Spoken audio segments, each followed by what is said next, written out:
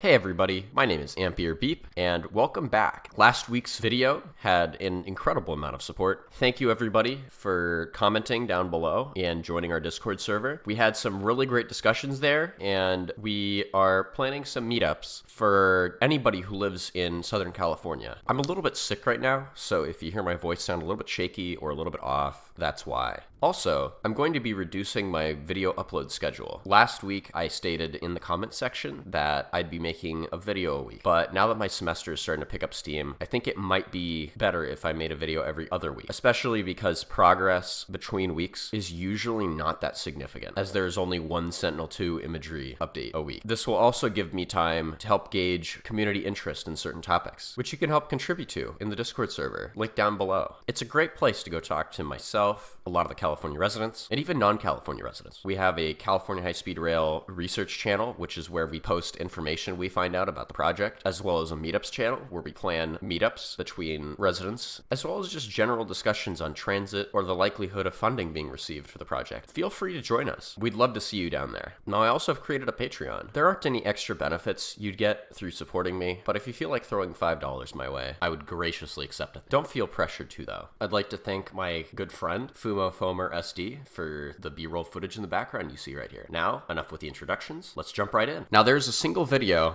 of a rendering of the Merced to Madera section from a design firm that I believe tried to put in this as their bid to design the Merced to Madera section. And I'll play it through. It's five minutes long, and it should tell you everything you need to know. The project starts at the northerly end of Merced and encompasses the portion being re-examined to include an elevated station. RSC is currently providing the engineering for this effort. The re-examination designs have leveraged precious work on the high-speed rail. The Merced to Madera design will therefore begin with the trench and viaduct structures developed to near a level of 30%. In coordination with Caltrans, plans for constructing the high-speed rail tunnel under SR 99 using cut and cover methods while maintaining traffic in both directions have been developed for the re-examination.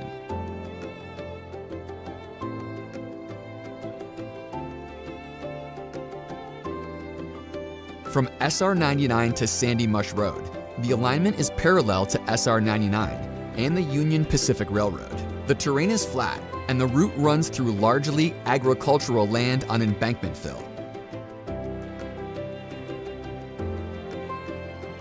Minimizing imported fill will be one of the design goals for this reach. The design team has broad experience in performing geotechnical investigations on the high-speed rail corridor. A focus will be on identifying suitable borrow sites and alternatives to importation of material over large distances. The alignment continues to the south toward the Y, running parallel to Road 11. Minimizing impacts to farms here and throughout the alignment will be an important goal. Contiguous ownership may require under or overcrossings for farm equipment and other access to landlocked parcels. At the Y, the southbound track will cross over the future main tracks to San Jose. The design team brings direct experience in the investigation, design, and construction of viaducts on the California high-speed rail network and on similar projects. Just east of the Y, the alignment becomes parallel to Highway 152. At Robertson Boulevard, SR 233, a new interchange will be required, along with shifting the alignment of the highway. Phasing the work to minimize impacts to traffic will be a major focus of the design. Continuing east, Chowchilla is to the immediate north. Several north-south arterial roads cross the proposed alignment and Highway 152. New bridges, along with realignment of this highway will be required. Again, a major focus will be on designing for phased construction and minimum impacts to existing traffic. Continuing east, the alignment crosses SR 99 and the Union Pacific Railroad. Early coordination with Union Pacific and Caltrans here, as at other crossings, will help guide the design. The design team will also leverage extensive experience from similar work to address challenges early. From this point, the alignment swings to the south past Fairmead and into open farmland towards Madera. At Road 22, the proposed alignment passes a very high voltage power line. The design team will make this an early priority to avoid the potential for significant changes to the final design.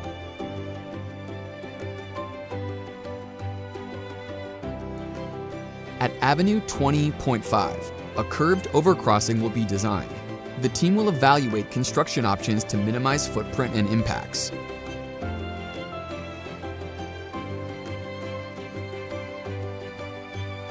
Finally, this segment connects to Contract Package 1, which is currently under construction. That was the Merced to Madera section.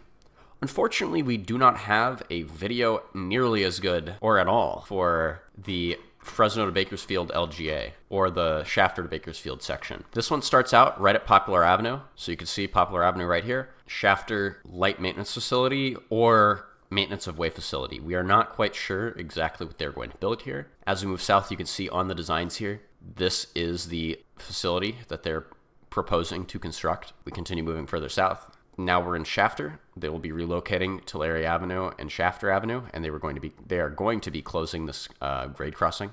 We continue moving further south. There will be a grade separation at Central Avenue and East Lerdo Highway. There will be another viaduct at this BNSF industry spur to allow access to it. We continue further south. East Los Angeles Avenue will be closed here and it will begin leaving the BNSF alignment and it will cross Riverside, Cherry, Orange Avenue, which is currently a dirt access road where it will close, where it will be closed. Mendota Street will also be closed, as well as this dirt path here and this one. Driver Road will be built over with a viaduct and then it will follow Burbank Street, crossing over Zachary Avenue, continuing forward and crossing the Calloway Canal, which they are proposing to relocate, and then turning south, crossing Zerker Road, the Friant Kern Canal on a bridge, Verdugo Lane, which will be put in a box culvert, it seems, the Lerdo Canal, which will also be relocated. And then when it reaches the UPRR alignment, where it's right next to State Route 99, it will be put on a viaduct. It will cross over 7th Standard Road, continue forward until it reaches Snow Road, where it will be put back onto an embankment and continue until it reaches this location here where it will be put right back onto a viaduct. And then it will cross State Route 99 at Knudsen Drive, continue on a viaduct past Olive, this BNSF track, Airport Drive, the Calloway Canal again, as well as the Kern River Basin. And then we are finally at the Bakersfield Station as we get here. You can see the north side storage track here. This will be constructed in a very similar way to the Hanford Viaduct. It continues, and we're at the platforms. These uh, semi-hatched squares or rectangles you see here are the platforms platforms. So the High Speed Rail Authority has a standardized design where you have two through tracks in the center and two station tracks on the outside. And then the station platform continues here. You get a second storage track on the southbound side, and then the storage track ends right after Chester Avenue. And this is where I believe the alignment will end, as going beyond that serves no useful purpose to the remainder of the project until the Bur- uh, Bakersfield to Palmdale section is constructed. Now that I've said that, we can go look at the alignment very quickly. This alignment begins in Merced at the Merced station, which is planned to be constructed between R and O Street off of West 15th. It will continue as shown under the State Route 99 bridge here, following the Fresno subdivision of the Union Pacific Railroad, continuing on a curve, getting to the Y crossing State Route 99, making a slight curve, and ending at Avenue 19. And then we start at Poplar Avenue, where it continues south along the BNSF right of way through the center of Shafter, making a right turn, meeting up with Burbank Street, continuing on alongside the Fresno subdivision again, crossing State Route 99, and ending right here after Chester Avenue. You can see on this alignment the remainder of the route, which continues up through the Pacheco Pass, and then it's very difficult to see because there are a lot of other rails here that overlap. And on the south side, you can see the alignment through Tehachapi, following through Lancaster, and then down through, I believe this is Soledad Pass into LA, where it follows BNSF till it gets to the Anaheim Regional Transportation Intermodal Center.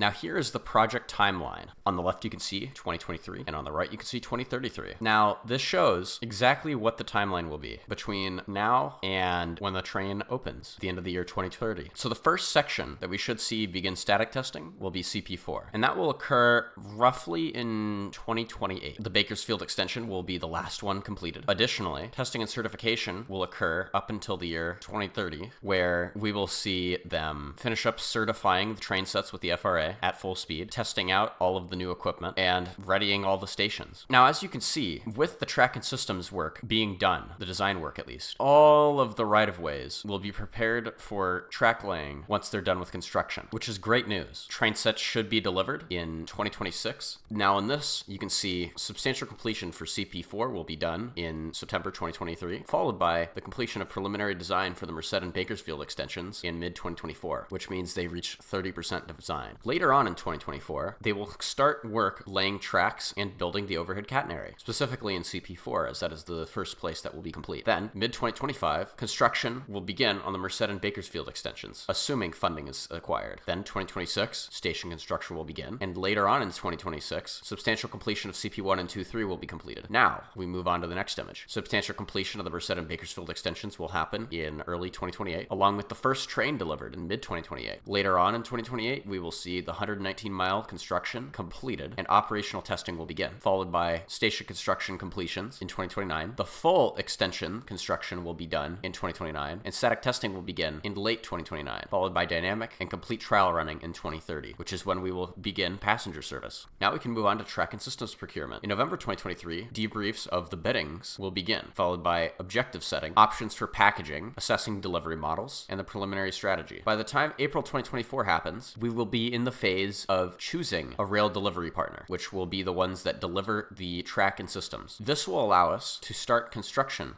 now we can move on to the final image I'm going to be showing you. The phasing approach for federal grants. Now we have four phases, technically five, because phase D is split into two segments. Phase A consists of the federal grants from the infrastructure bill, including pending awards, one of which will occur next month, and the other one will occur in either December or January. Everything in dark red is phase A, which is the immediate funding need. This will get us to the point where we have the second track funded, the train sets funded, right of way and other early work work funded for the Merced and Bakersfield extensions, as well as final design for the Merced and Bakersfield segments. The last part is a portion of the civil construction for the Bakersfield extension, specifically for sixth grade separations in Shafter. The next section we need to worry about is Phase B, future grants. Only one of them will be a future grant, and that is a portion of the Merced to Madera segment, which is in light yellow. The third segment is further future grants from the bill. Everything in C, which is cyan, dark cyan. This includes the remainder of the civil construction in the Merced to Madera segment, a large portion of the Shafter to Bakersfield segment, the Merced to Madera track and systems, and the Merced to Madera track and systems. Then we move on to phase D1. This grant will get us a large portion of the track and systems for Shafter to Bakersfield, and then finally phase D2, which will get us the remainder of the civil construction for the Shafter to Bakersfield sections, as well as the final funding for the track and systems in the Bakersfield extension. With all of this money, we will finally be at the point where we have the 171 miles complete, allowing us to open in 2030. With all that out of the way, thanks for watching. I appreciate everyone who came down to our Discord server. Make sure you join us. We'll be talking about stuff in the next two weeks before the next video. Otherwise, see you then. Thanks for watching.